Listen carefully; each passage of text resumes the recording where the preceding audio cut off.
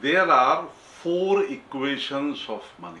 And if you understand these four equations and take a decision which equation to live your life in, it will decide how your life will be.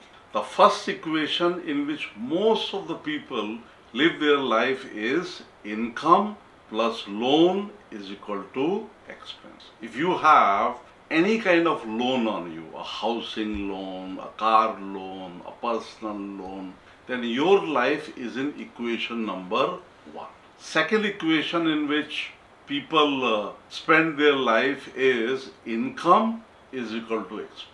Whatever they earn, they spend of it. They have no concept of saving. They believe in fulfilling their desires on a regular basis. First two, these equations cannot lead you to financial freedom. Next equation, a little better than this, is income minus expense is equal to saving. What does it mean?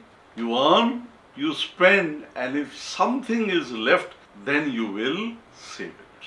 And the last equation, which is the equation of financial freedom, is equation number four, which is income minus saving is equal to expense. Please remember, you will not have a pension. Please understand, inflation is at 7% per year. That means every year your money will depreciate by 7% and you will require 7% more every year to fulfill and buy the same desires and things.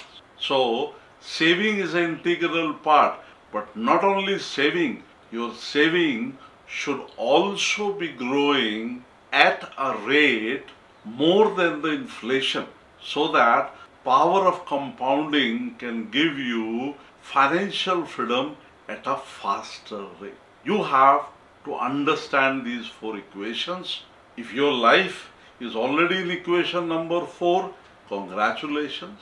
But if your life is not in equation number four, then you have to work smart and hard to take your life on that equation as soon as possible. I pray you get it soon.